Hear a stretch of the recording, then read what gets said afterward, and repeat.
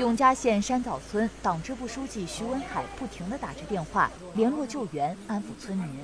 这三天来，他几乎没有睡过一个好觉。此时，他还承受着丧母之痛。事情要从八月十号凌晨说起。台风利奇马来势汹汹，山枣村发生了山体滑坡，导致河道堵塞，村内水位急速上涨。徐文海察觉异样后，迅速电话联系周围村民，提醒他们紧急避险。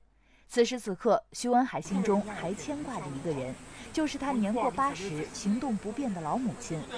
老母亲住在村文化礼堂旁边，距离徐文海的家只有一两百米，平时几分钟就走到了。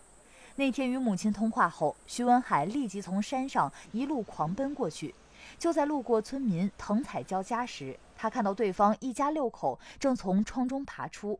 徐文海没有丝毫犹豫，伸出了援手。六个人走去的，都在外面有点棚搭出来了。可能那个冰箱呢，走了走了走了走了，书记在这里下面叫我下来呀下来呀下来，他们拉下去嘞，一个人拉下去呗，都会拉下去了，他拉他拉他，我女婿呗把我抱的抱到这里呗，捞下去了，又走下去了，完一个外甥啊女儿都是。六个人了。徐文海救出了滕彩娇一家六口，但此时再往母亲家去时，水位已经又涨高了许多，没有人能进入房子救援。徐文海站在山上，眼睁睁地看着洪水上涨，最终没过了整个屋顶。这个时候，我一直在那里等了大概有有呃十五分钟左右吧。那个时候水就慢慢就下去了，下去了也很快。大概就五六分钟，那个水基本上就又又就可以走了。所以这个时候我过去嘛，我家里全部的东西门都被冲冲了没了，推推进去。后来我就那个床都没了。后来我就家里没有嘛，我又到了楼梯上面找到我母亲，她已经那躺在那里了，就就没气了。我赶紧去。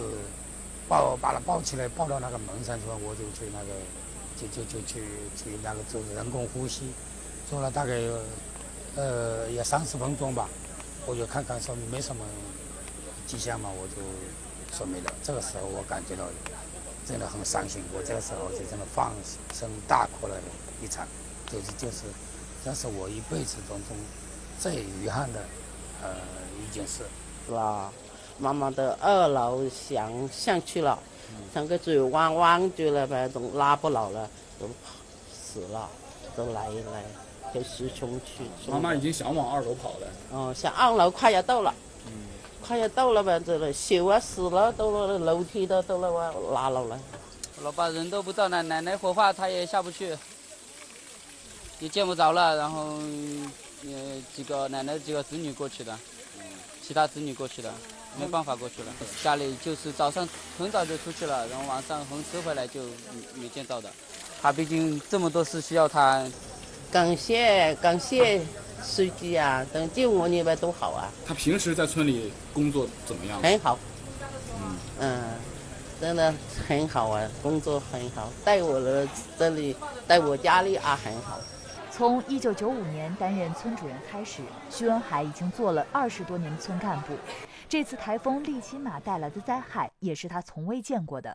眼下，山枣村的善后重建工作正在逐步开展。